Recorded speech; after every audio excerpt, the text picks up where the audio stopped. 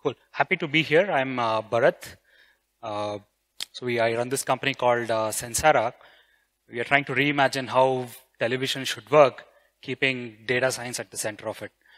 Uh, so I also have. I'm sure you'll have a lot of questions. They'll they're going to uh, span from ethics to privacy to what is possible, what's not. Do any do people watch TV or not? Everything. So we'll be around to take a lot of these questions. The focus of this talk is a lot more on uh, on the data science part of it, uh, more so the information retrieval part of it. Uh, we are trying to unravel television information retrieval uh, here. Uh, how many of you watch television? Okay.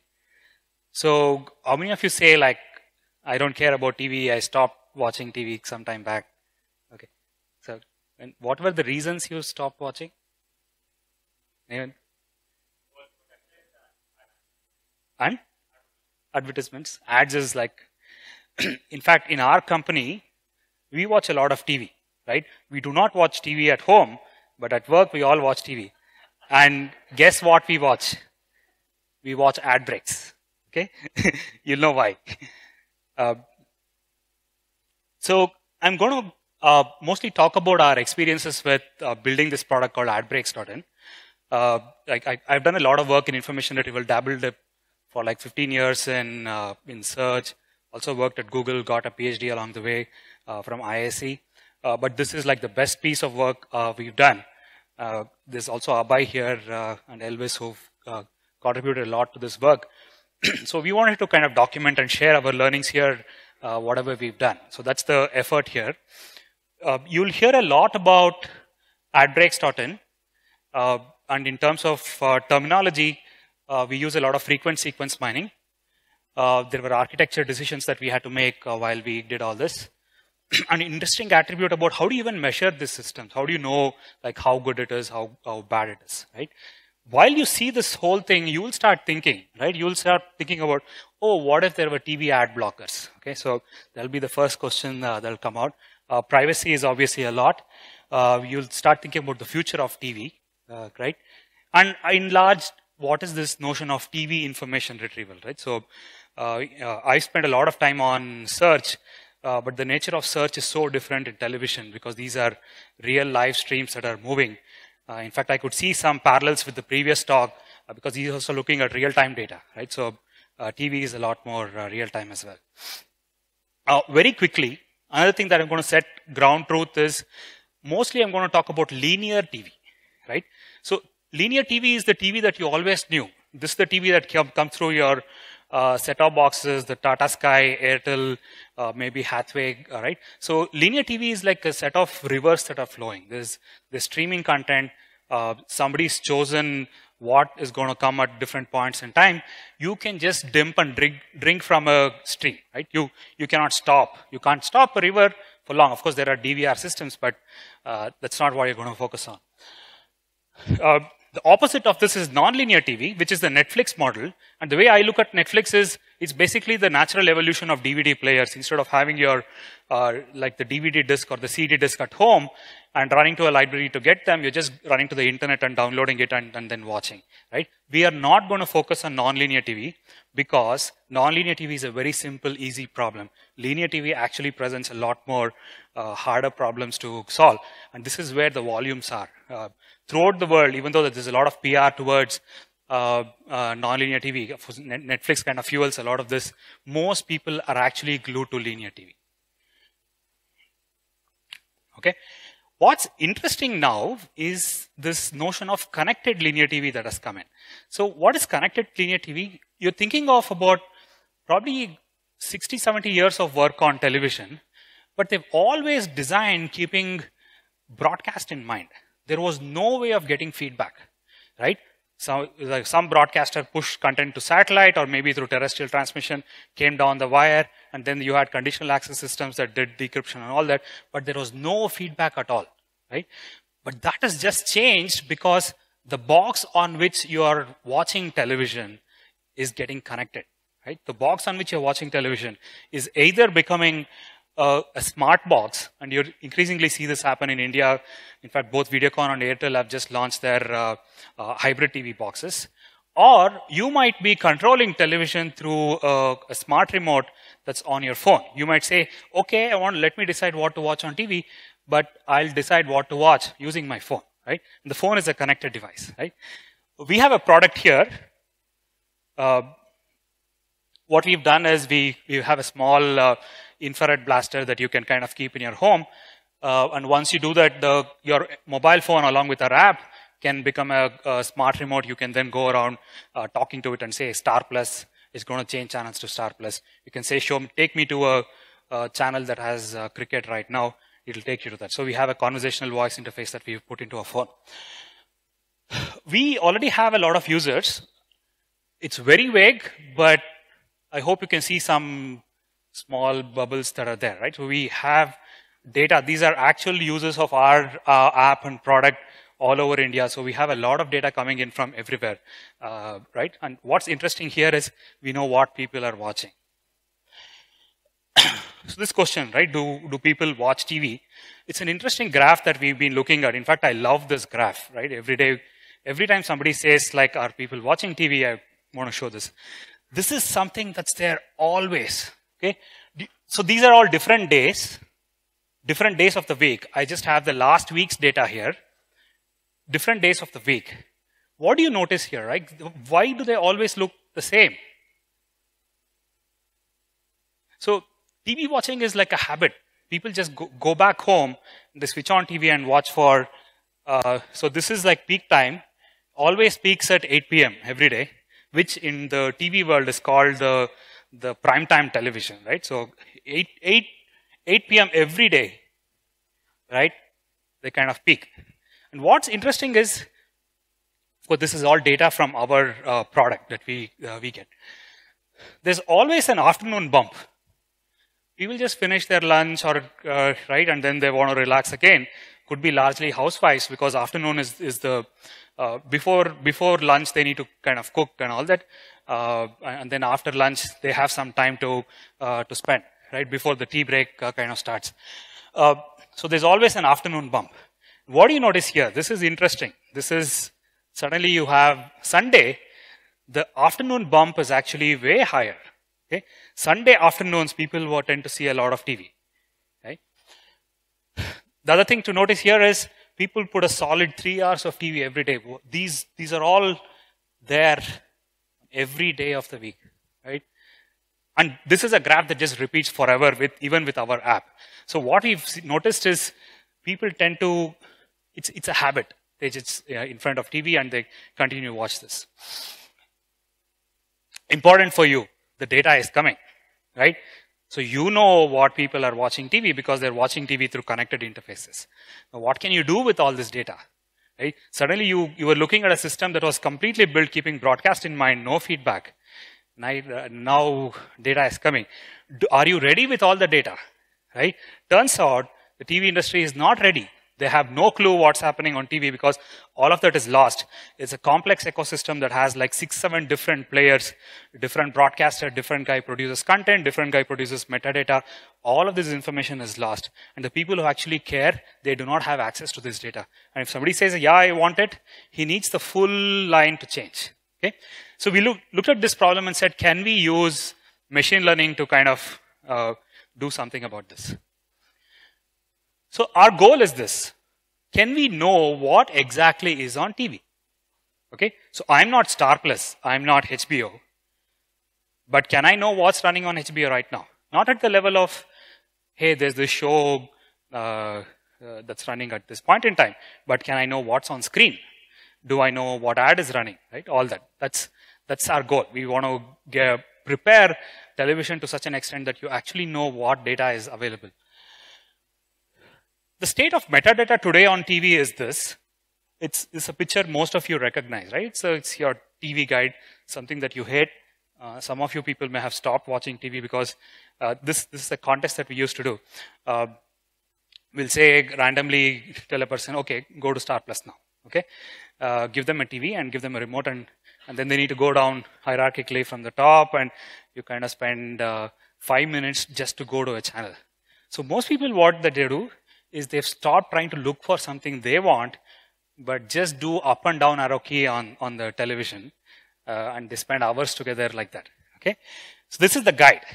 What does the guide show? It shows uh, what show is running, maybe a little bit of information about about this, uh, but nothing more. Can we get lot more information? Now, the thing is, now we are saying it's a connected television. We want to prepare the world for getting a lot more information. Can we get information about the news topics you just watched?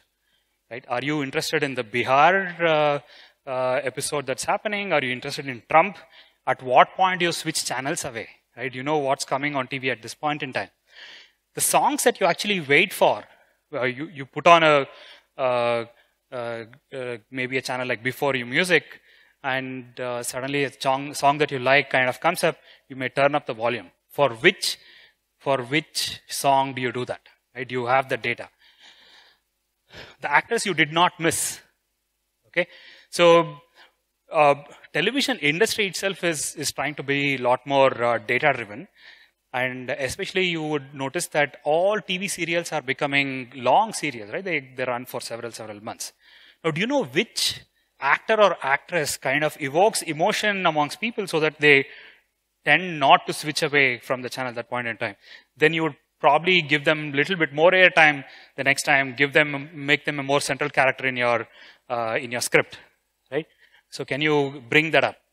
The ads you did not switch away from, right? So, so we are getting to a world where we are trying to get this kind of data insight into what exactly is happening on TV. Uh, for the rest of the talk, I'm going to uh, stick to what we did with ads. Of course, we have demos of what we are doing with actors and so on. Happy to kind of show you demos of that uh, through the day. Okay. In some essence, uh, if, if some of you have bought Amazon Fire TV or been using Prime Videos or something like that, we're trying to build uh, something like X-Ray, but for linear TV.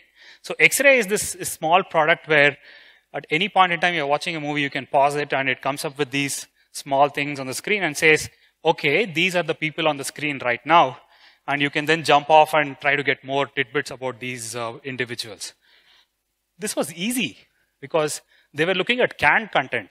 When somebody makes a DVD, they put scene level information and tag it and send it out to you. So it was easy to build this product.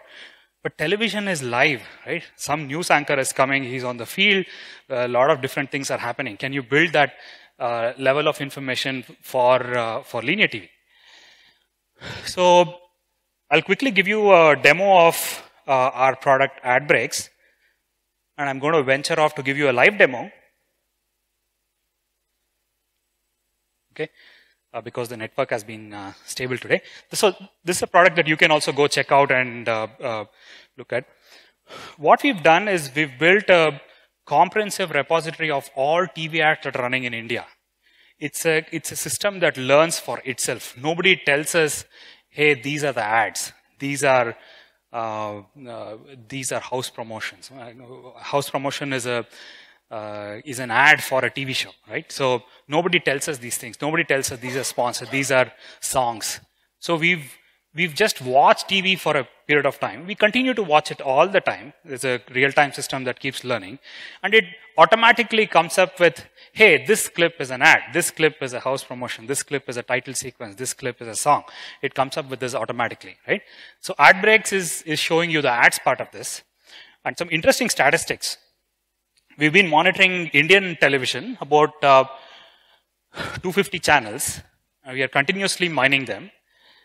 And we've discovered just over the last week, there have been 12,000 different ads, right? different unique ads that have, that have been uh, running on Indian television. How many times did they run? Look at this number 640,000 times. So 12,000 ads were actually repeated 640,000 times. Okay, this is why some of you start watching TV because it's the immense amount of uh, repetition. The reason why that repetition was there was because they didn't have feedback, right? You build better systems, they will go back and say, hey, this guy has seen this ad four times. I'm not going to show it again, right? They'll, you can build better personalized systems there, right? Uh, now, this system is a live system. This is actually, now if, if someone can grab a TV somewhere, Uh, you can see it's actually changing all the time. Life OK HD is has this ad of uh, hair and care fruit oils. Vivel soap is coming in Sun TV right now. Right, Pix HD has something. Uh, Bajaj Pulsar. Let me see if I can uh, click through and while it loads, I'll. Um, you can see it's all dynamic, and this is all built up automatically. It's a system that we've built, and for every ad, we know how many channels it's been played on, uh, how's the breakdown of this, distribution of our languages, different creatives and media for this. Uh,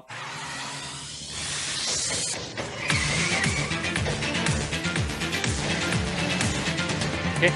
This is a Pulsar ad that we've discovered in the Telugu language.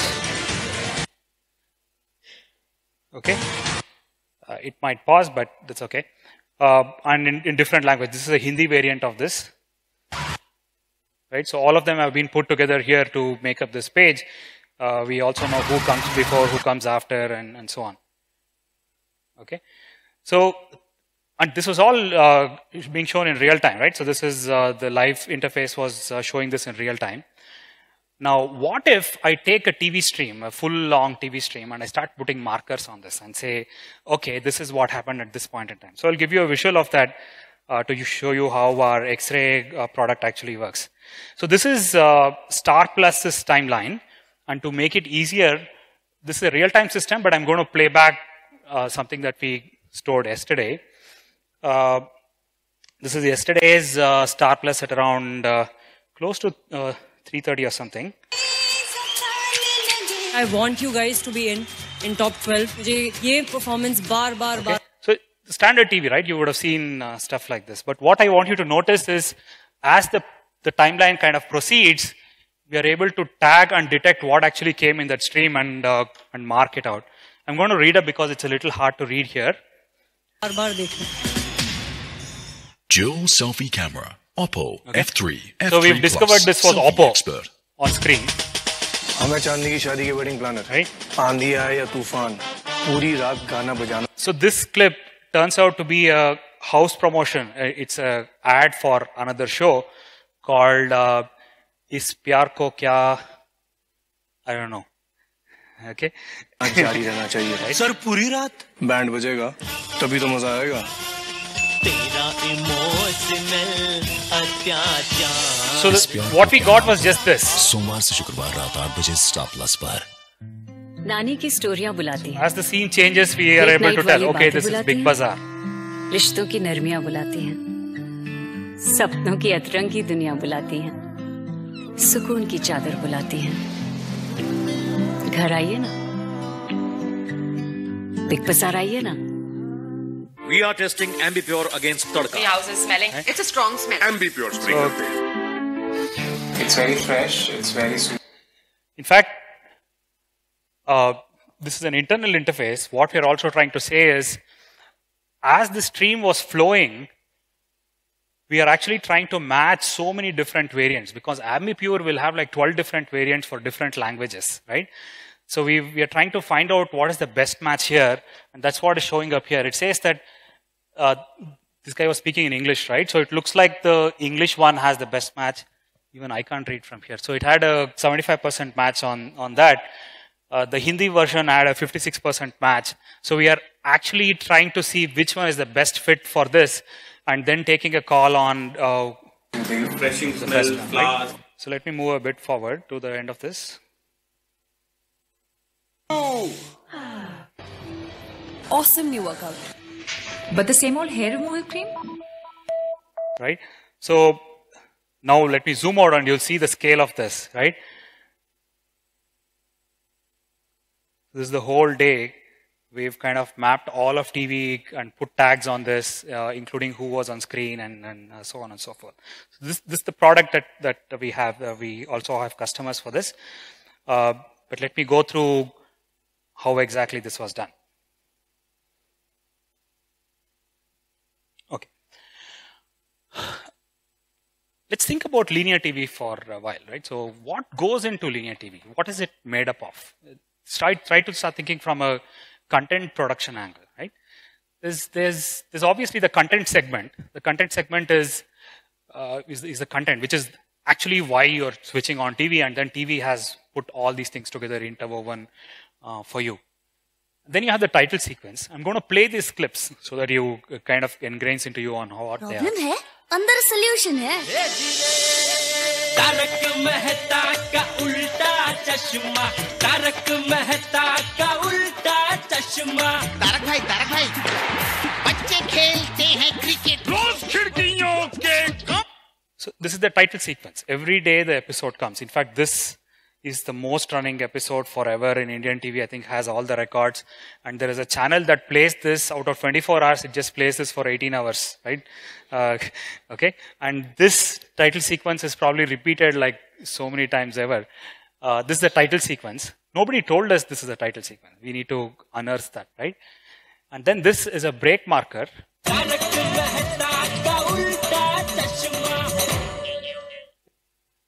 So a lot of people can recognize a break marker if they're in the next room. They're like, okay, break khatam ho gaya, come, let's back, uh, go back, right? So this is a break marker. They're, like sentinels before and after the, uh, uh, the ad break comes up, right? Nobody told us that this is a break marker. In fact, these are all real clips that I've generated and put over here uh, that are uh, that our machine is able to generate. This is a house promotion. এটা যে machine सच में हिल रहा है ये भ्रम है একটা problem আছে कहीं इसमें भूत भूत तो नहीं है Powered by Patanjali Honey, purity की 100% guarantee. all four of them are were actually about Tarak Mehta, and one of them is is trying to advertise tomorrow's show. One of them is a small uh, break marker. One of them is a title sequence, and the other one is मुस्कुराने की एक और वजह। एक चौथाई moisturising cream युक्त Dove. पाए तीन डव के साथ एक डव बार फ्री कोमल मुलायम त्वचा के लिए अब और भी ज़्यादा Dove.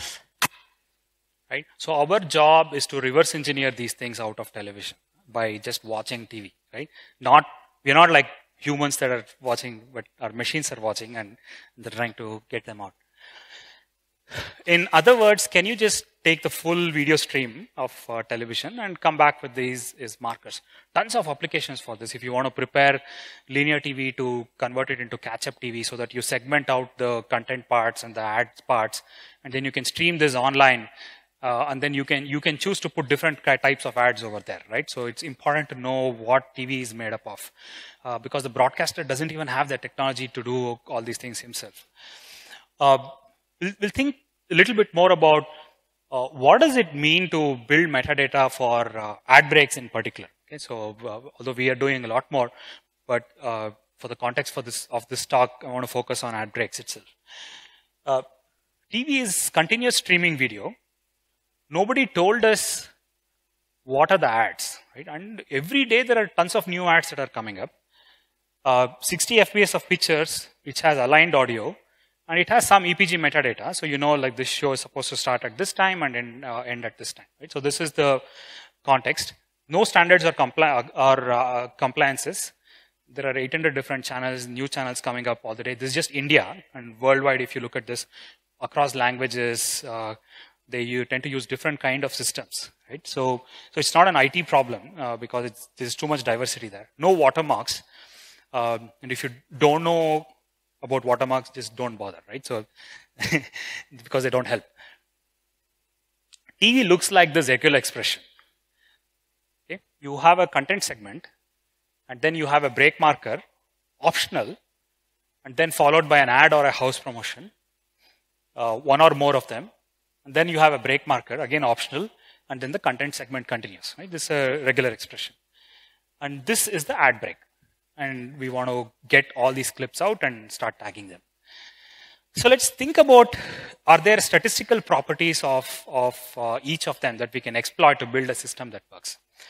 One thing to notice here is uh, also in, in my experience, I've been, uh, I tend to call myself more an information retrieval guy because uh, you care more about the semantics of information and see if you can exploit that in a given domain to make your job easier. So for, for me, like machine learning is a tool, and if machine learning works, so good. Uh, if you have to use supervised, unsupervised, doesn't matter, right? Whatever works. But having some domain knowledge helps you uh, solve a problem faster. So quickly you want to start understanding the domain and see okay, what, what, works here. Break markers. There are signature sequences of video or audio that are specific to a channel and or a show. There is this interesting property of break markers that the break marker when Tarak Mehta is coming is going to be different from when Ishqbaaz is coming, from when that 70 show is coming, from when say Silicon Valley is coming. The break markers are always different, right? But they always repeat whenever this show is, is coming up. So if you start analyzing the, the regions of uh, the video that always come around uh, when this show is telecast, then you have a better chance of getting break markers. Uh, they're very seldom seen elsewhere. Uh, so maybe that, that gives you uh, some clues. They're always sentinels that separate the content from ads. There's at the start of an ad break, at the end of an ad break. What about ads? Okay. Ads are short, right? very short. It, it costs money to put them up. So the ads are like either 10 seconders, 15 seconders, 20, right? And so on till 30 seconds. Very few ads are a minute long. Heavy on audio. The thing with advertising is even if even if you're not watching TV, you should be able to hear the brand. Okay, that's how their ads are designed. So they're very heavy on audio. They repeat a lot. This is what you're all annoyed about, right? So uh, they repeat a lot. They occur across channels. They're not loyal to one show. They're not loyal to one channel because you want to maximize impressions. They just occur across channels. They always come together. Right? They've been bundled together. So there's a lot of locality of ads. If you think there is one ad somewhere, there's a very high likelihood there's one more ad either before it or after it, right? Because uh, so you, you can use these properties. What about house promotions? They feel very similar to ads. They always come in ad breaks. They're like ads for other shows, but they're they're different. They're, the thing about house promotions is they change every day. Typically, an ad stays the same for an entire campaign, maybe about a month uh, or if the advertiser has a lot of money, he might be doing something uh, every week. But house promotions change every day because for tomorrow's show, you need to create a house promotion today. Uh, and for day after, you will be beaming something tomorrow, right? So they tend to change a lot. Uh, it's also make, and they also feel very similar to ads. Also makes it a little hard to uh, distinguish them. What's interesting is house promotions always feature actors that otherwise come in content segments. Okay, which is not so with ads. There is, if, if you have a mechanism to recognize faces uh, that come up a lot in content segments, then you know that they are most likely going to occur in house promotions as well. Uh, content segments, most likely good actors, the, the lead actors of these content uh, the shows tend to occur a lot. That's why they are stars of the show right? And the show metadata that you get from the EPG is most likely going to give you their names, right? And if they're reasonably popular enough, they have some web presence, which means that they have some photographs available there. So if we have a index of these photos from there, maybe we have a chance of trying to identify when these people come up on TV. Right?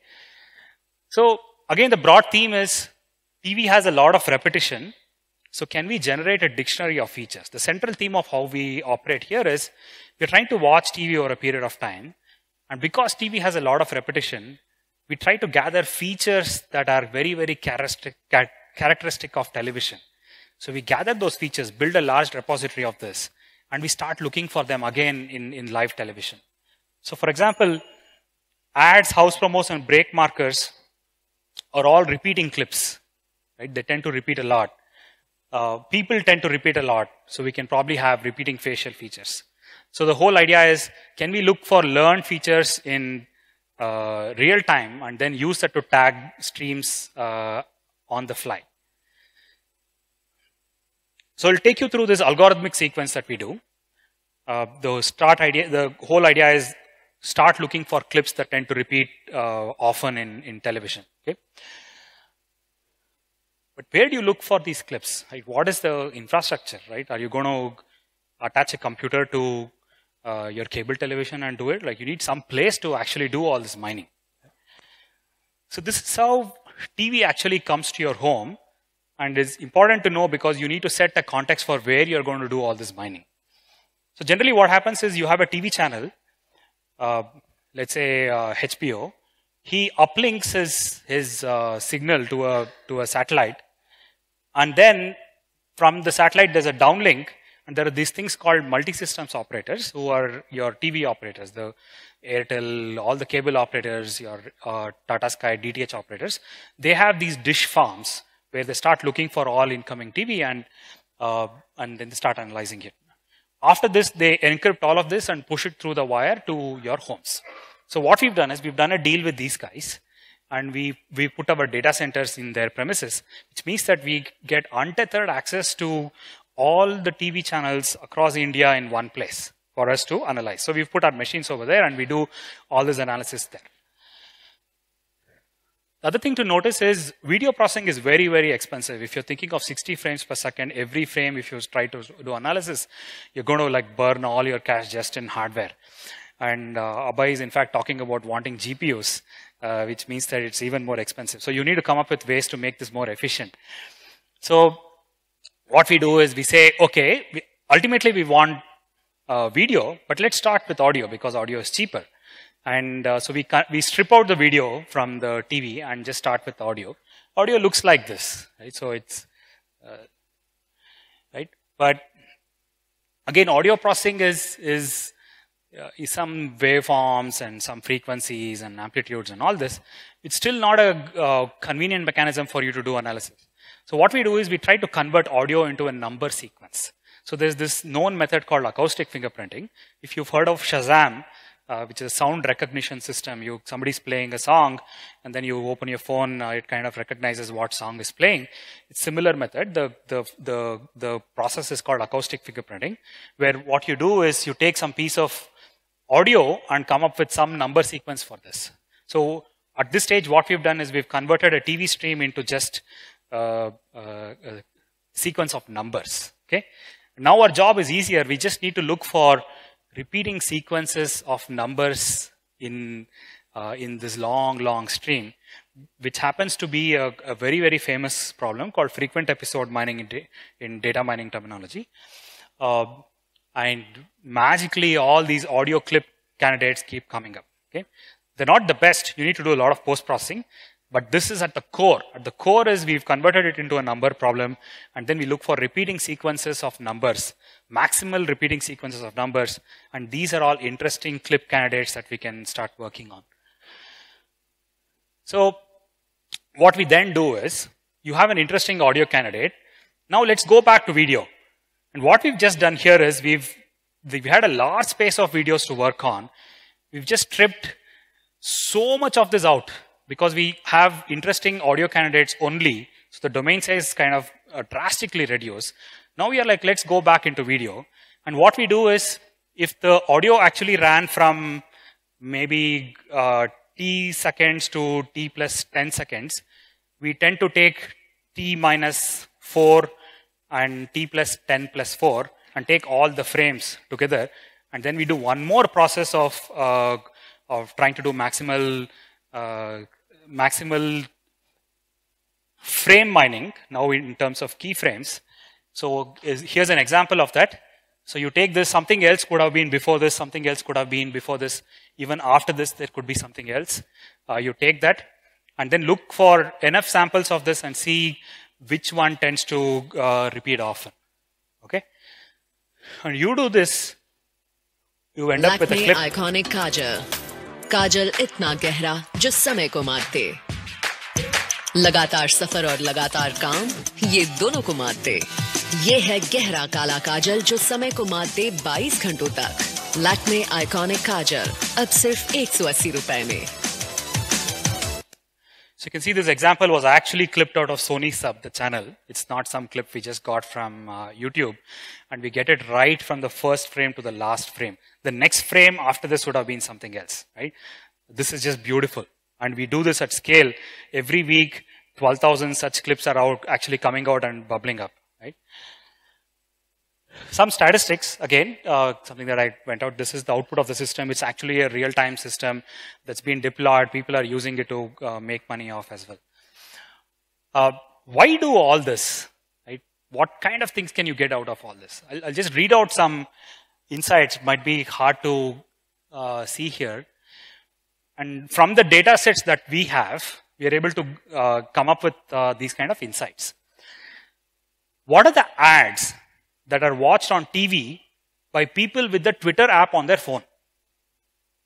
Okay, how many of you have the Twitter app on your phone? It's like everybody, right? You all watch TV, right? Now, can Twitter know what do you watch on TV? Like you're all like loyal followers of Twitter. Do you, does Twitter know what uh, what ads you watch on TV? So these are two different islands of information, the one the web and the other. We are able to come up with this. And this is interesting, right? Uh, a lot of Twitter users have seen the Bharti AXA insurance ad, Skoda Rapid, Jeevansathi.com, Datsun redi-GO, right? So this is huge uh, monetization opportunity for Twitter itself, where assume that you are with the Twitter app, uh, and then you're in front of TV, you're seeing this Lakme iconic Kajal ad come up over there. Now, and then you start browsing your Twitter because obviously it's an ad break. You'll start seeing the same ad show up there. Okay. The next time that happens, you know who's behind all this. Okay. so this is called TV synchronized advertising. Huge demand for this because you have a world of uh, uh, brands spending so much on TV and then increasing spending on uh, digital media, but the two are not even connected. Okay. Another interesting thing, uh, top ad seen on TV by Redmi Note 4 and uh, Mi 5. Okay, both both Xiaomi phones. Uh, and you'd say, yeah, they're just two Xiaomi phones. Uh, but what kind of ads have people with Redmi Note 4 have they have seen? They have seen the Shaadi.com ad. They have seen Jeevansathi.com and Titan Skin perfumes. What about people with Mi 5 phone? Okay, they've seen Berger anti-dust paint, Honda City, Tourism Australia. What does it tell? What this has to stand for some real data, right? What does it tell? It stands for something. This was not by choice. Okay, shows a lot about the preferences. Like there is something when when somebody goes and says, "I'm not going to buy a Redmi Note 4. I'm going to buy a Mi 5." Okay, you know there is something in his mind which kind of psych psychographically associates with maybe he's a guy who will who will uh, yield for a Honda City ad, right? So all these interesting patterns come up. Now, what does this data mean for Xiaomi? Right? Think about it. Right? Uh, another interesting thing, the Airtel Payments has been doing a lot, lot of advertising. Now, what other apps are on the phones of people who have seen the Airtel Payments ad? Okay? And we've noticed that the top app, this is a maximum likelihood, everybody will have YouTube on their phones because it's all Android. We have noticed that the top app, the maximum likelihood is they all have the UPI app. Okay? And they also have uh, Paytm app. Does it mean something is going right with their targeting? They're able to reach out to people who seem to be their demographic. But if this was not there and they were like reaching out to something else, then you know that they, they better change their uh, strategy. Right? Okay, how many minutes do I have? Okay. So I hope you're all convinced about this. So there is a huge need for building the system and not even looking at all the use cases that, that are made out of this. Uh, multiple, multiple different use cases. Uh, we are seeing interest from OTT operators, advertisers, uh, like all kinds of people. Uh, now the question is, now, this guy has come here and is talking about his built the system. How good is the system? Can you even measure and tell how good the system is? Okay. Does it get all the ads? Is there a ground truth? What percentage of ads are you able to uncover from a machine learning perspective? So that's what we wanted to kind of come up with. Like, there is no ground truth because ads are changing every week. In fact, there is one ground truth. There is a almost semi-government uh, agency called uh, BARC uh, BARC stands for uh, Broadcast Audience Research Council. And what they've done is they've uh, gone to all broadcasters and said, okay, put watermarks. And then they've installed people meters in people's homes. big team, very, very, and, and in fact, they uh, pay people to watch TV, right? So they're going to watch TV whole day and uh, one channel per person. And whenever an ad comes, he puts and makes an entry into Excel and says, okay, uh, this is the ad that's coming up, right? So like which is why the data is very old. You, you, this is how I want it to be. Good. so, uh, data is very old, so you don't have a real-time grasp of how good this is, and it's very sparse. So we wanted to come up with a, way of telling how good this system is. Uh, if you know the terminology of precision recall and F measure, and right, so it's kind of important, and it's important for uh, data scientists to uh, have some discipline in how they are uh, doing this work. So for us, precision means was everything we called indeed an ad. You don't want to randomly, arbitrarily call something as an ad, right? Everything, when you say it's an ad, it better be an ad, right? That is precision. If we say we are a 100% precision system, then every time we make a call and say, hey, ad, it should have been an ad. If it was not an ad, then you lost precision, okay? So recall is, did you catch all the ads? Were there holes in between? Did you miss some of them? What's a false positive? Something that wasn't an ad but tagged as an ad. A false negative is something that was an ad but we missed it. Uh, because this is supposed to be an industry ready system, we said, okay, let's focus on 100% precision. Uh, this is also something that I kind of learned while working at Google, which is always focus on precision more than recall. Although people say the F score is something, the harmonic mean of the two is something that you should aim for, but industrial systems always say go for precision because humans do not like errors. Okay? And we see this a lot. We have our app out there, we have our product out there. One bug, and they'll say, this is the worst thing that ever happened to humanity. Right? People are, like, you, you've seen this, right? So, people are very, very unforgiving of errors. So, you need to build systems that are very 100% precise. So, we said, let's put a human layer.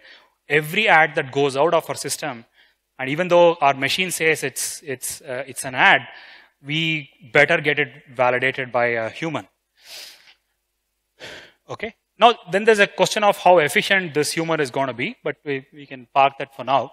So we built this tagging utility for M and uh, uh, so they can just play the ad and try to figure out if it's indeed one. And there are such suppositions over there and they just quickly mark it. It takes about one to two minutes to verify one ad. Uh, so it's a very scalable thing. We just need like three, four people to get this job done and we are able to be up to speed. Okay.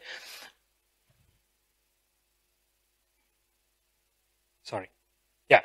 So how do we measure recall?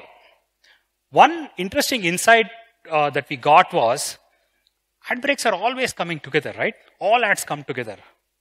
In fact, the way shows are created, how annoying would it be for uh, the show starts out, then two minutes, ad break comes up, and then like another two minutes. Cricket is like that. Uh, it's, it's ideal for showing ads, right? So every over is like three, four minutes, and then you have an ad break. But typically, ad breaks are all bulk, coming in, in bulk. So it's easy to identify if you missed an ad break in the whole timeline. If you missed an ad, then you will start seeing holes. Okay? So look at this. Uh, you had a long content stretch and suddenly our system is saying, hey, ad, and it does so for like three, four seconds, then it's a false positive, right? Similarly, you had a long stretch of otherwise an ad break, okay? And then somewhere in between there's a hole, this is a false negative. So statistically, we converted this into a formula and we said, okay, our recall is the duration of the full ads that we matched divided by the duration of the full ads that we matched, but also add all the holes that you kind of left out. It's a very good measure of recall. Okay? And we use that, and these are actual numbers. We continuously track this uh, for every channel. For Sony, there's 93.7% recall, 86% uh, recall. We can never achieve 100% recall because we need to learn a new ad, right? And it takes some two, three times for it to come up and repeat and for our whole system to kind of uh, get set. So we, we can never get into 100% recall, uh, but this is actually pretty good numbers uh, in that sense. Okay? Bharath, we are out of time. I'm done. I'm done. There are ways to improve this, uh, and there's a lot to be done. I'm done.